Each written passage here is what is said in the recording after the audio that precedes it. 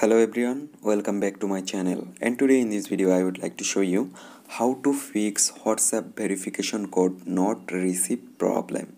So let's begin our video. And guys if you want to log in or sign in on whatsapp then you need to get a verification code. But if you cannot receive or if you cannot get your verification code so how can you solve it? In this tutorial you can learn it so for that you need to go on your phone settings. I just open my phone settings. Now what should you do? You just need to find out apps or apps management option. There you can see I have only apps so just open it. Now you need to go manage apps. You need to find out WhatsApp. So where is WhatsApp so there you can see.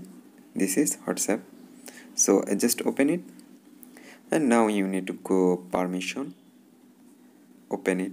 And now what should you do? You just need to allow everything like that.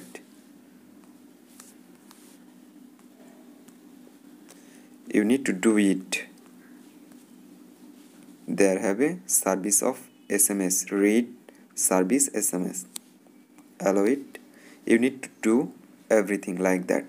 So after doing that guys you can get or you can receive verification code on whatsapp. So guys in this way you can fix whatsapp verification code not received problem. So hope guys this video can help you. Don't forget to like and subscribe